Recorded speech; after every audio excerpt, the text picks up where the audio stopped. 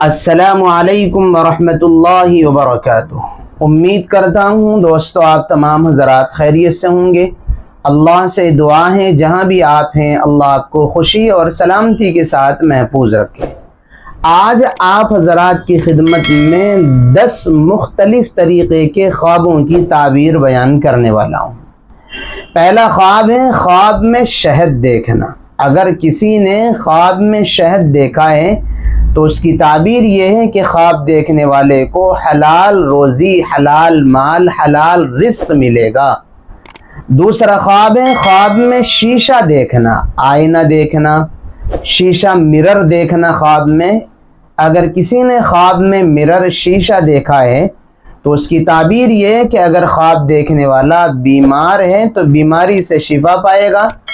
और अगर बीमार नहीं है तो ज़िंदगी में राहत और सुकून पाएगा। यानी ख्वाब में शीशा देखना अच्छा होता है, बुरा ख्वाब नहीं है। नंबर तीन, कवारों का अपनी शादी देखना ख्वाब में। कवारा लड़का या कवारी लड़की ख्वाब में अपनी शादी देखें तो उसकी ताबीर ये है कि जल्दी इन ताला ये इस दिवाजी ज़िंदगी में आ जाएँगे, जल्दी इनका निकाह हो जाएगा। और ये सुन्नत शरीयत के मुताबिक फिर अपनी ज़िंदगी, निकाह वाली इस दिवाजी ज़िंदगी गुजारेंगे। नंबर चार, ख्वाब में बारिश देखना।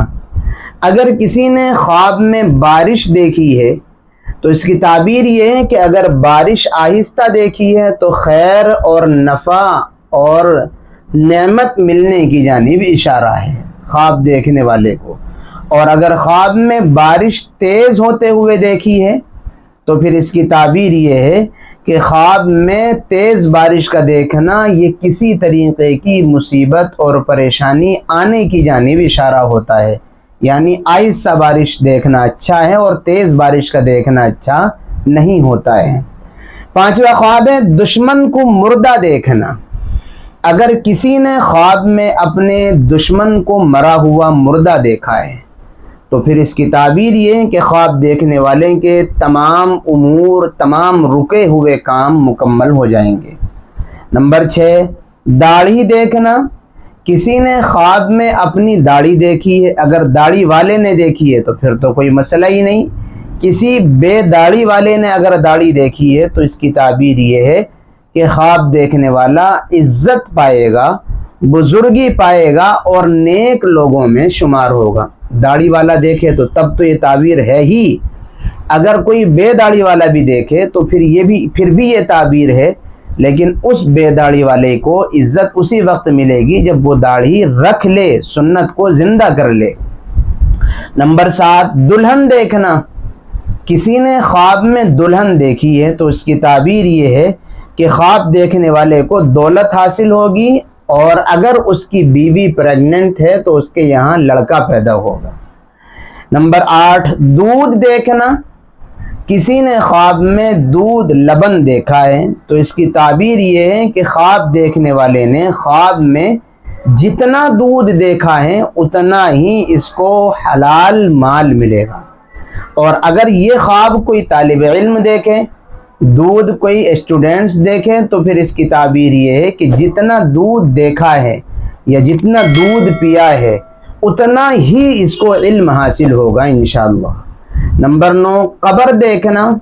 किसी ने ख्वाब में कब्र देखी तो उसकी ताबीर ये है कि ख्वाब देखने वाला गुनाहों से तोबा करेगा, अल्लाह की नाफरमानियों से बाज आ जाएगा और फिर दीन और शरीयत के मुताबिक ज़िंदगी गुजारेगा। नंबर दस, कुरान मजीद देखना। किसी ने ख्वाब में कुरान मजीद देखा है तो उसकी ताबीर ये है कि ख्वाब देखने वाले वाला अक्लमंद और समझदार होगा और इसी तरीके पर इल्म नबूबत हासिल करेगा। दोस्तों, ये हमने आपकी खिदमत में दस मुख्तलिफ़ तरीक़े के ख्वाबों की ताबीर बयान की है। उम्मीद करते हैं वीडियो आपको पसंद आई होगी। आप हमारे चैनल पर अगर नए हैं तो चैनल सब्सक्राइब कर लीजिए, वीडियो को लाइक और शेयर करना ना भूलिएगा। और अपने ख्वाब की ताबीर जानने के लिए हमारी कमेंट सेक्शन में ख्वाब लिख दीजिए, फिर फ्राइडे का वेट कीजिए। इन फ्राइडे की वीडियो में आपके ख्वाब की ताबीर बयान की जाएगी। दुआओं की दरख्वास्त हैं, फिर मिलेंगे इन किसी नई और अच्छी वीडियो के साथ। असलकम वरहमल वर्का